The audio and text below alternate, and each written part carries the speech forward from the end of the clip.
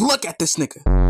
The face of someone who knows damn well they're guilty. I'm boss. The boss of what? Having a big ass head? I'm done! I don't care anymore! Nigga named Lord JK, boy, you ain't the lord of shit! If you don't get your content thieving, when you get called out, you start grieving. Forehead is shinier than a fucking polished ceiling. Looking at so boss with a god. Judging by the size of your head, the only thing that you are the lord of is telekinesis. Your name is Lord JK. Every time you spit, it sound like an AK. This dude shit. Every time he farts, he shouts, let it rip like he's spinning a Beyblade. Shut your dumb ass up. And your content is lame as shit. What the fuck is sesame crack? That eight-year-old ass humor you got. Grown ass hillbilly looking ass nigga trying to make roast videos. Sit your ass down. And that goofy ass profile picture, fake ass Godzilla, my nigga, that's deity lizard. Take that shit off. No JG, but they're my credits and I need them now.